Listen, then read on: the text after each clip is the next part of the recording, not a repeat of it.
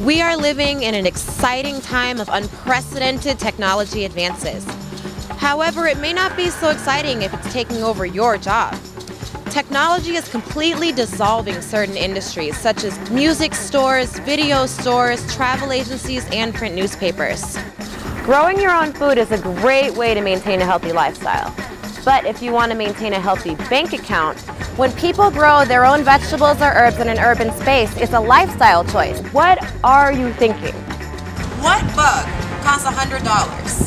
Well, we're gonna go to Wheezy and he's gonna tell us more about that. Wheezy?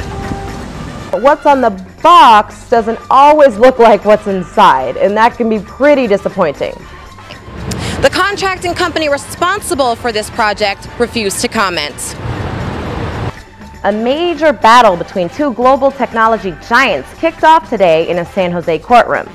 It pits Apple against Samsung over charges of copying designs for smartphones and tablets. High heels. They're a woman's secret weapon for looking confident and sexy. Do you want a career in fashion? Obviously, I see a lot of fashion on the red carpet. Some good, some bad, and some downright terrible.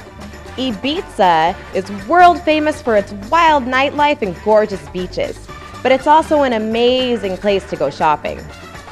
The 12 passengers knew something was wrong midway through the ride when it suddenly stopped and left them stranded hundreds of feet off the ground.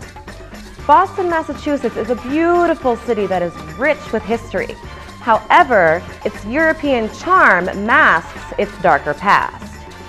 Congratulations to all the mathletes tonight in their competition here at Oxford University in the UK. That's all for today. I'm Alison Campbell and thank you for watching.